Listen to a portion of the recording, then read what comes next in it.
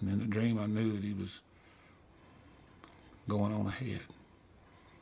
He's fixing to make a fire somewhere out there and all that dark and all that cold. And I knew that whenever I got there, he'd be there.